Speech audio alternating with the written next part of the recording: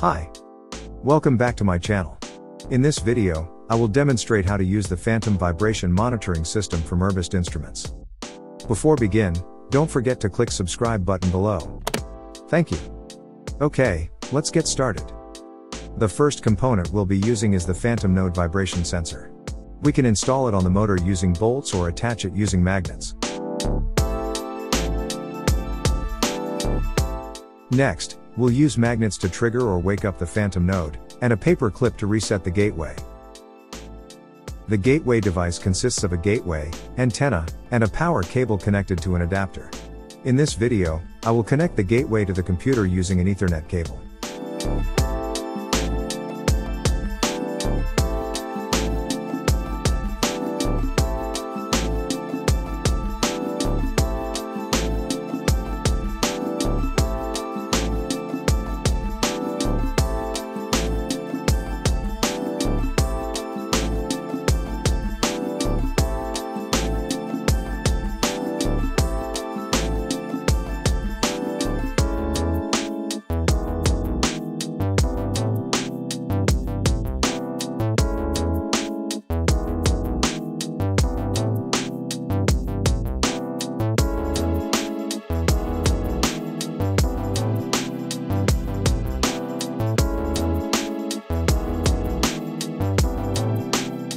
For this experiment, I'm using a small three-phase motor with an inverter.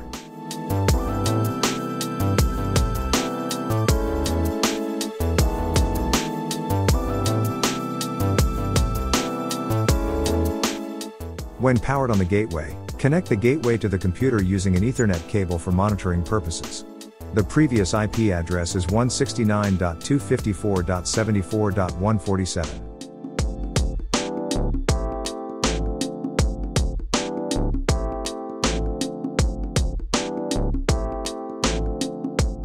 Using the command prompt on the computer, we attempted to ping the gateway's IP address, but the result shows a failed connection to the gateway.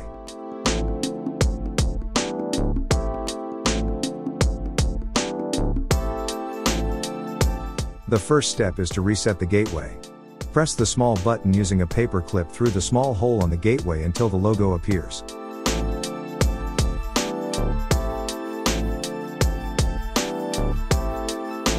Go back to the computer, access the Wi-Fi network starting with Phantom, enter the password, consisting of the number 8 repeated 8 times, and wait until connected to the Phantom Wi-Fi network. Next, open an internet browser and go to 192.168.4.1, which will open the gateway configuration page. Check the static IP configuration box, set the IP address for the gateway, and in the monitor IP address field, enter the computer's IP address.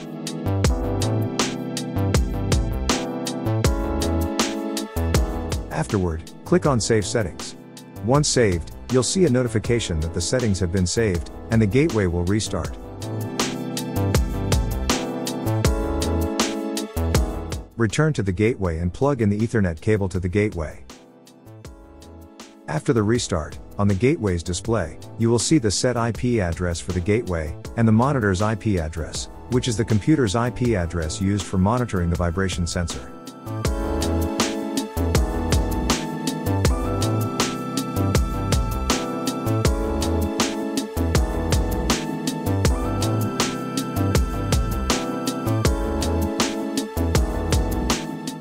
In the command prompt, we can see that the gateway's IP address has been detected within the network.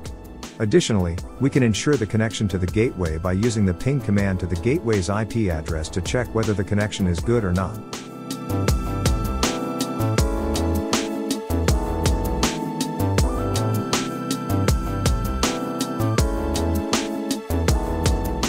After installing EI monitoring, open the EI monitoring application. When running it for the first time, we need to configure the database. Choose the local database option, then select the existing database, namely the monitor log. SDF file, and click OK.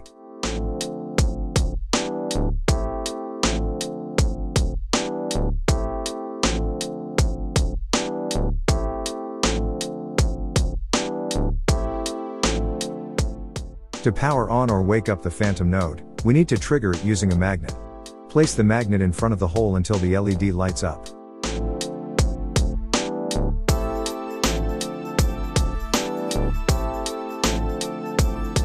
In EI monitoring, click on Start Service. After a while, you'll see information indicating that the gateway has been connected along with the connected phantom nodes. You can view the ID of the connected phantom node, which corresponds to the ID displayed on the QR code on the phantom node body.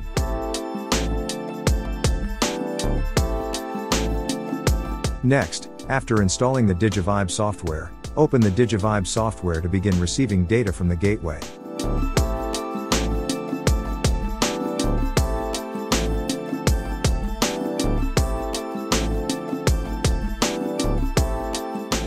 Next, set up the database in Digivibe software.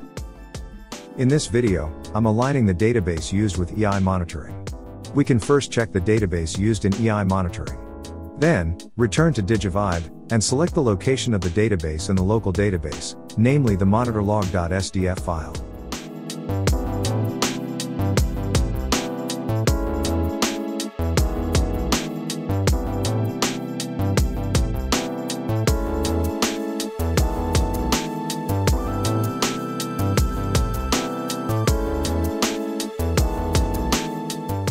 The next step is to add a Phantom node in the Digivibe software.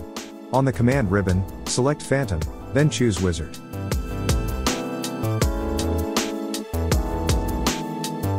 On the Phantom management page, select Add Phantom. Scan the QR code on the Phantom node to add it, and follow the subsequent instructions.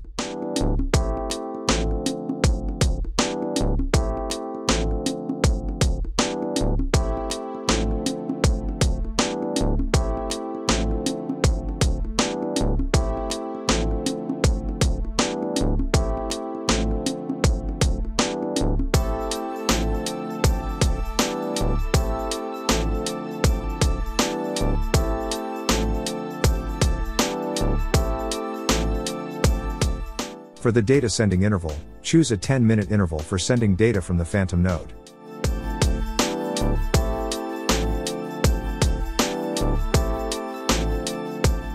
Next, in the configuration section, create machine data starting with the company, area, machine name, and select point 1 as the measurement point on that machine. Then, click Save.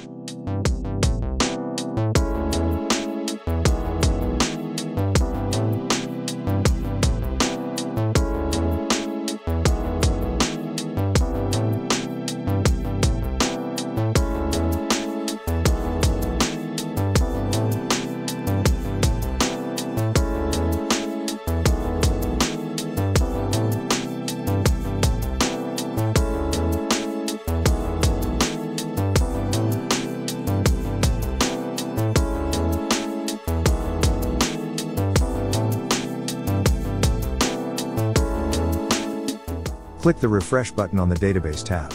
You'll see a list of machines that you've added at the bottom of the Database section.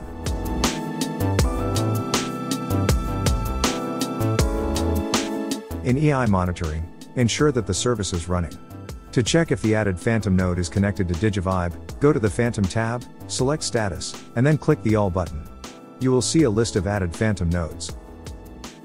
If you observe a table with phantom data showing a negative temperature, and a signal strength is zero, this indicates that the phantom node is not connected to Digivibe yet.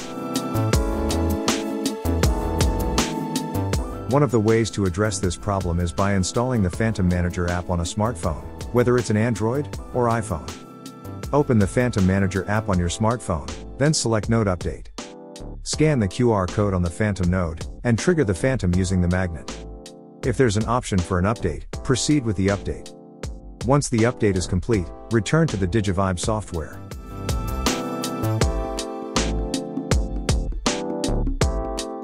Now, let's recheck the status of the Phantom node to confirm if it's connected. In the Status Devices window, click on All. Now, we should see data such as battery status, signal strength, and other information, indicating that the Phantom node has successfully connected to Digivibe.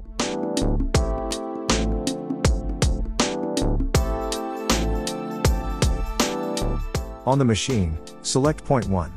You should be able to see incoming data for parameters such as horizontal, vertical, and axial measurements. Digivibe will receive data at intervals of every 10 minutes, as per the previously set data sending interval.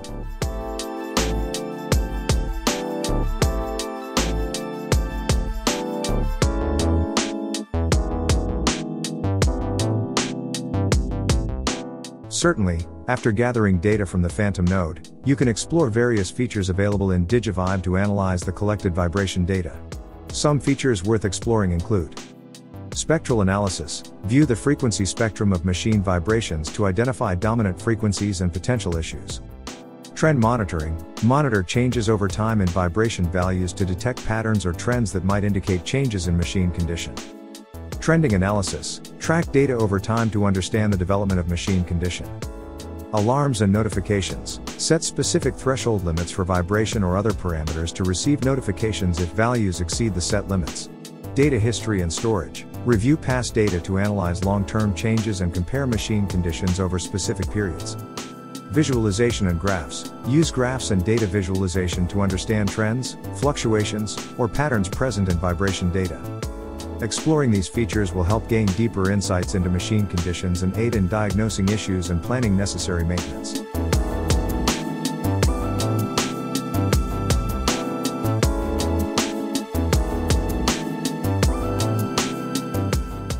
To assess the severity of vibration data, you can review the vibration severity matrix referring to ISO 10816.